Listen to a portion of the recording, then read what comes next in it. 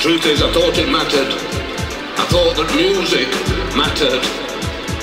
But does it bollocks? Not compared to how people matter.